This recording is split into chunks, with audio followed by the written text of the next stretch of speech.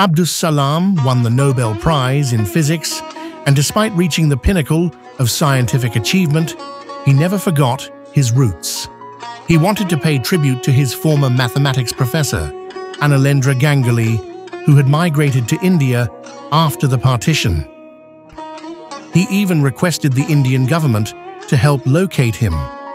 After two years upon meeting, he placed the Nobel medal around Ganguly's neck and humbly said, This is your prize, sir, not mine. He founded the International Center for Theoretical Physics in Italy. The institute aimed to bridge the gap for scientists from developing countries, providing opportunities for Pakistani students to study and collaborate internationally. It is said that during his final years, at a conference in Italy, a young Pakistani professor approached him on the panel, and upon learning she was from Pakistan, he was overcome with emotion and broke down in tears.